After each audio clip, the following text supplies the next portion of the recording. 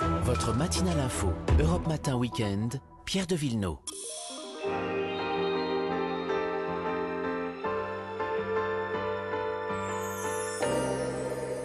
Les balades, comme chaque samedi, avec Marion Sauveur. Bonjour. Et Vanessa Zah. Bonjour.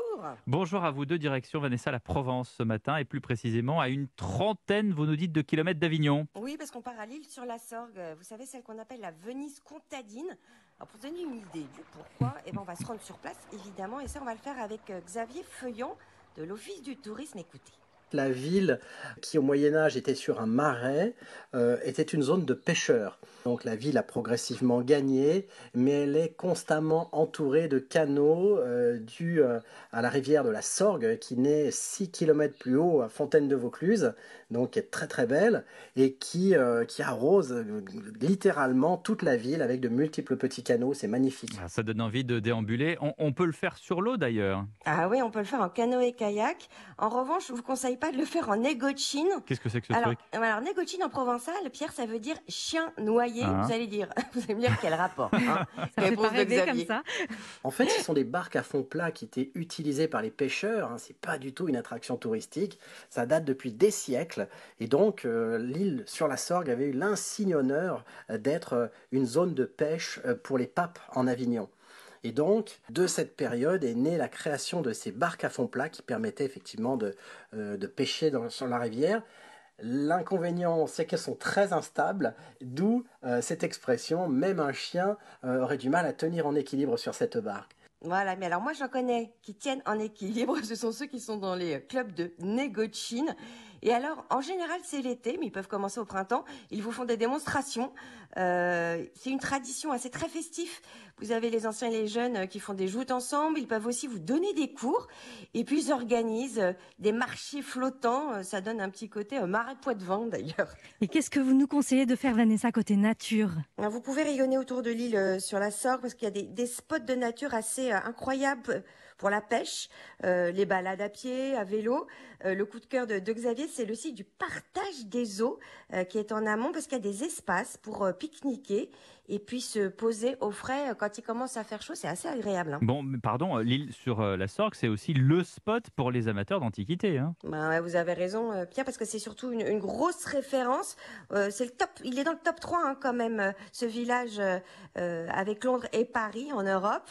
Euh, alors vous allez me dire comment l'île sur Sorgue en est arrivée là? Eh bien, dans les années 70, euh, quelqu'un a simplement trouvé que le marché du dimanche matin, Mhm. avec euh, ses légumes, ses fruits, bah, se prêtait aussi à pouvoir poser une petite table et vendre des objets.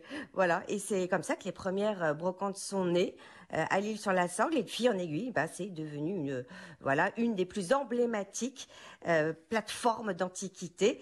Et c'est assez sympa parce que ça donne de la vie toute l'année. C'est ouvert du vendredi au lundi. Tout reste ouvert. Même les restos, évidemment, bah, hors Covid. D'un mot, l'hébergement, si on veut y rester.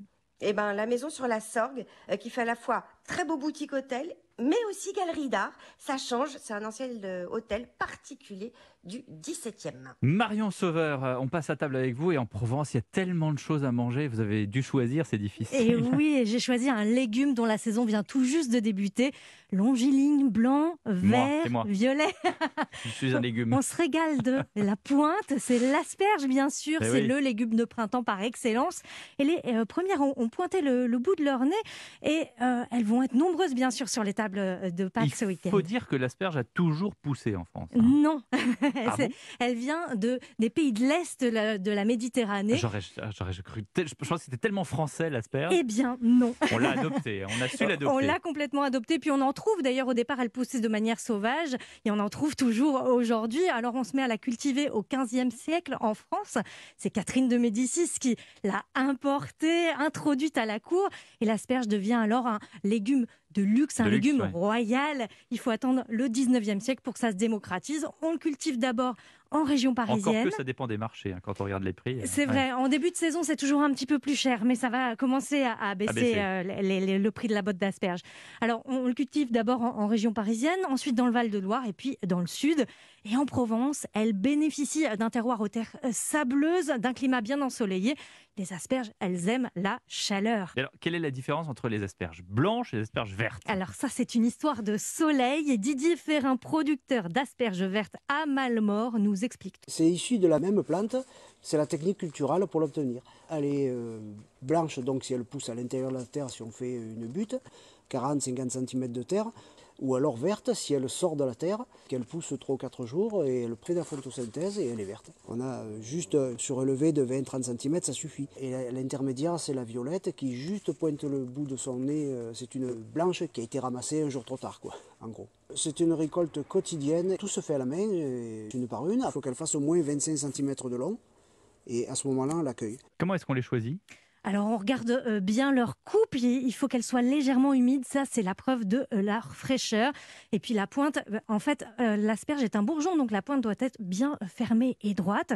Ensuite on la conserve au réfrigérateur dans le bac à légumes, dans un torchon humide pour pas qu'elle soit déshydratée. Alors comment est-ce qu'on les cuisine aussi ces asperges vertes? Alors à la vapeur, surtout pas dans l'eau bouillante, sinon elles vont perdre tout leur goût, le goût va partir dans l'eau. Exactement. Vous vérifiez en fait la cuisson avec la pointe d'un couteau, sinon ça fonctionne bien sûr poêlées. Et moi, je les adore euh, crues. Si elles sont grosses, vous les faites à la mandoline. Ah oui, les asperges vertes, ça se mange cru. Avec un peu d'huile d'olive, des pignons de pain tout juste poêlés, des radis finement coupés, des copeaux de parmesan. Et vous avez une euh, salade de printemps. Si vous êtes en Provence, passez chez Didier Ferrin à Malmort, il a une boutique. Vous pouvez aussi acheter ces asperges fraîches chez le chef étoilé Nicolas Bottero à Saint-Cana. Et puis, il fait d'ailleurs des menus à emporter, un super menu de Pâques avec un carré d'agneau et des euh, asperges dans l'huile d'olive. Juste la légende comme quoi il faut mettre euh, les pointes vers le haut dans la casserole Oui non, ou non vous n'êtes pas obligé. Pas, obligé. Non, non. Ouf parce que quand, à quand la même, vapeur. Oui, oui, à la vapeur encore mieux. Merci beaucoup Marion. On retrouve toutes les références sur europe1.fr.